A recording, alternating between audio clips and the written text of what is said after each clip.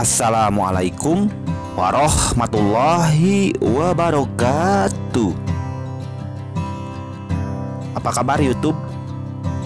Baiklah, sahabatku, sahabat YouTube, subscriber yang melihat video ini, subscriber dari channel YouTube Badaga Channel, siapkan buah tomat beberapa buah.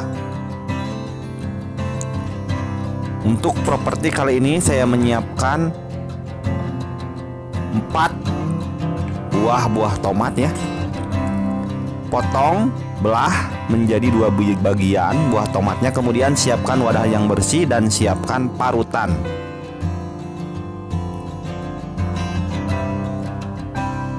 Parut atau haluskan terlebih dahulu buah tomatnya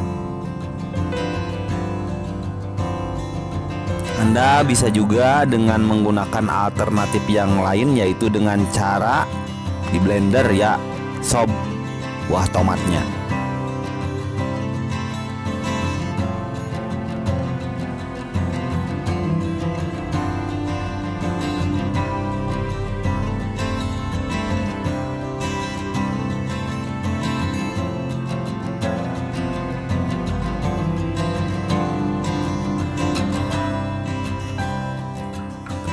Mungkin teman-teman baru tahu manfaat buah tomat yang sangat bagus ya untuk membersihkan karang gigi atau menghilangkan plak gigi.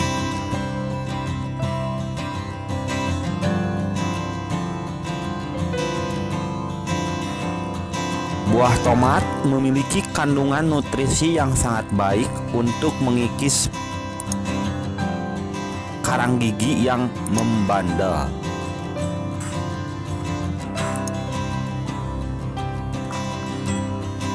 Oke ya, sob. Kemudian siapkan wadah yang bersih, wadah yang lain maksud kami, dan juga saringan atau tapis.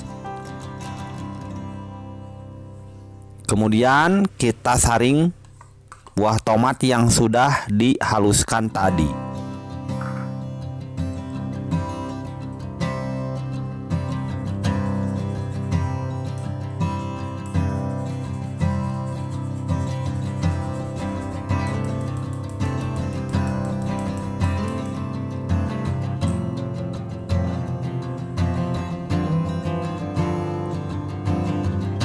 Lalu tambahkan garam dapur.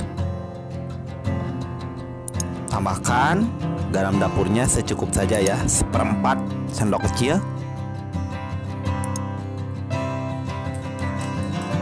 Aduk-aduk terlebih dahulu.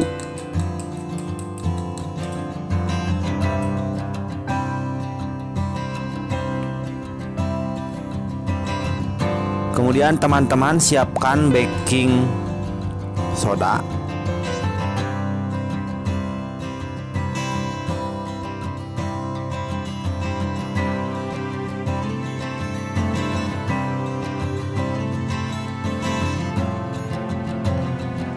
Tambahkan baking soda setengah sendok teh. Aduk hingga tercampur rata.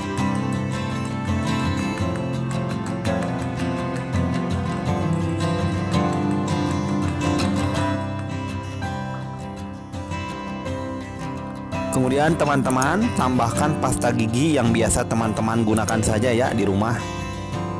Tambahkan pasta gigi yang biasa teman-teman pakai untuk menggosok gigi. Satu sendok teh.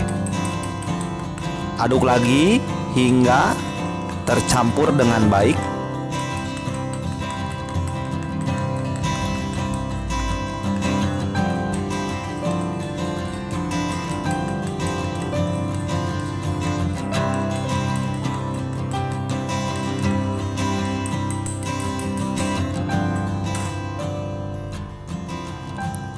Selanjutnya, teman-teman siapkan sikat gigi. Pilihlah sikat gigi yang bulu-bulunya masih sangat bagus. Kemudian gosokkan pada gigi yang kuning. Jika gigi kamu kuning, maka aplikasikan tutorial ini. Gosokkan selama 2 sampai 3 menit pada gigi kamu secara rutin selama satu minggu. Jika sudah bersih, teman-teman giginya bisa segera untuk menghentikan cara ini. Semoga bermanfaat. Terima kasih. Wassalamualaikum warahmatullahi wabarakatuh.